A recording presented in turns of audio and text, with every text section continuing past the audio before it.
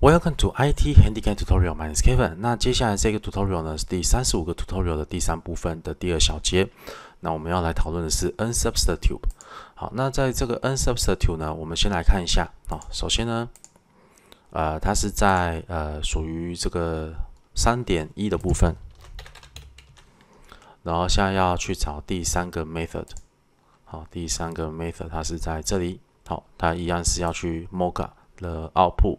啊，out parameter method 这样子，那我这边 copy 一下，然后在这边的话，我要打开的是 NUnit 的这个 n substitute，把这个打开来，然后 copy 到这边来，好，一、二、三、四、五，贴上，好，那接下来呢，哦，哎，它就可以直接跑啦，然后我按 Ctrl Shift B 一下，好，build 一下，它是可以 build 的，好，那我们接下来就来看一下城市码，在城市码的部分呢，我们先来看。说就是我们在这个之前在 mock 的时候，之前在 mock 的时候呢，我们必须要先制造一个这个 gamer mock，之后才可以制造一个 gamer 的 object。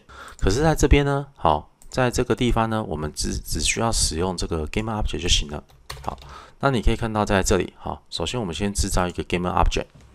我们知道了 gamer object 之后呢，那我们先来看一下，好，它跟之前一样，我们先 create 一个新的。好，string 叫 output，叫做 portion better。那这边也是 create 一个新的 output 叫 portion beta。好，那在这个地方呢，我们使用的是 gamer mock。然后这是好，这个是 mock 的部分，我们使用 cr 的 method。可是呢，我们使用 unsubstitute 的时候呢，我们只需要直接把这个 gamer object 去呼叫我们要设定的这个 method 叫做 upgrade portion。那这个 upgrade portion 呢，我们一样是要把 portion a 放进去，然后它 output 呢是应该是要是等于这个 portion beta。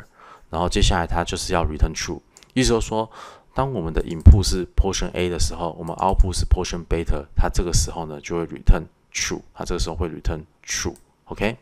好，那这时候就发生一个很奇怪的现象，你可以看到在这个 mock 的时候呢，我在 create 一个新的 result，我 create 新的 result 之后呢，接下来我去做一个 assert 的动作，然后把这一个 output 呢放到 result 上面，然后接下来在 r equal。我们会发现这一个 result 会跟这个 output 会是一样的东东。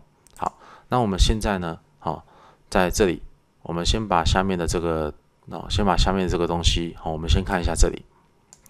好，我们先看说 input 如果是 portion A，output 还是一样是 portion beta 的话，这个是 return true，OK？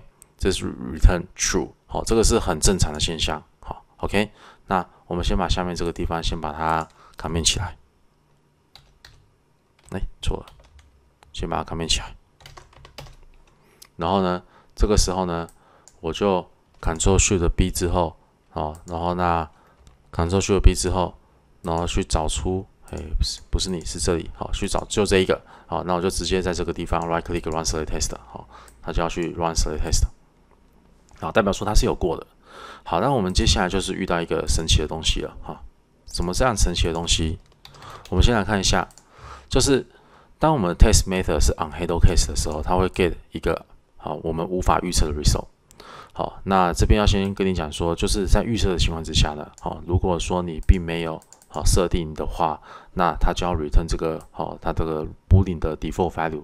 好，那 boolean 的 default value 是因为它这边这一个 upgrade portion。它是会 return 一个 boolean 值，那 boolean 值的 default value 就是 false 啊，所以照理说它应该要 return false 才对。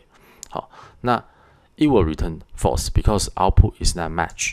好，unsubstitute cannot really test the output parameter。好，but mock can test the output parameter。但其实 the truth is 两个都不太行。那我先示范一次给你看，你可以看到在 mock 里面呢，我先 create 一个新的，好，我先 create 一个新的 result。新的 result create 完之后呢，接下来在这个地方跑一次之后，我们发现这个 result 会跟上面这个 output，output 就是 portion beta 是一样的东西。可是，在 unsubstitute 里面啊，我想要 create 一个新的好那个 result，然后呢，我一样是去呼叫 portion A，然后我这边会 return 一个好 result 出来。很意外的，很意外的是什么呢？很意外的，照理说，好，这应该是 return true 才对，可是呢，这边是 return false 啊。很奇怪啊！好，那我们先把我先把下面这个东西卡面掉一下。好，那我先证明给你看，它照理说应该是 return true，可是呢，我们在跑的时候，它就举举给你看，它会 fail the test。所以呢，先把它改回在 is false，好，然后 right click，然后它就可以跑了。所以这个就是一个灵异现象，就是说我们明明有设定说，当你的 input 是 portion A 的时候，我们的 output 应该会变成 portion beta，可是它 output 这个并没有变成 portion beta，这个 output 还是一样是空的值，应该是空的值。你不信的话，你可以 debug 一下，但是我懒得 debug 给你看，反正呢就是说它并不会去设定它，所以呢，好，就是这边会 return false，这就很奇怪。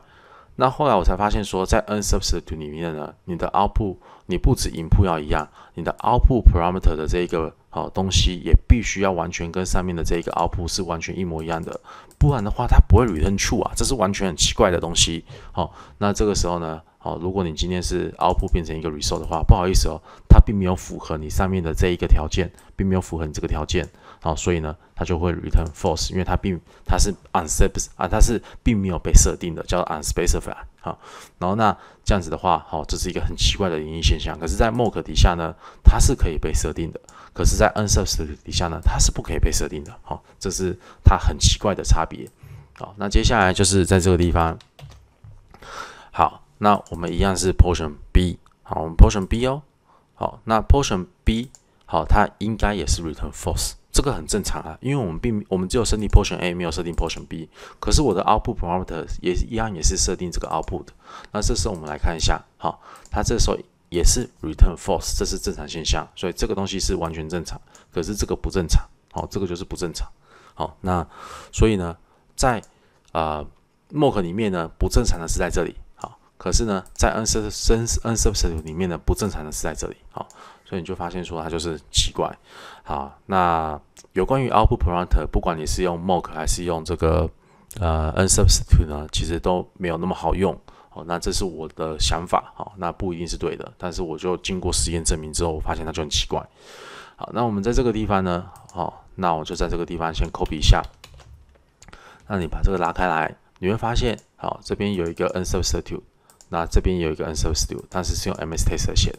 然后就把它 copy 到这边来，然后一样是一，然后二三四五贴上。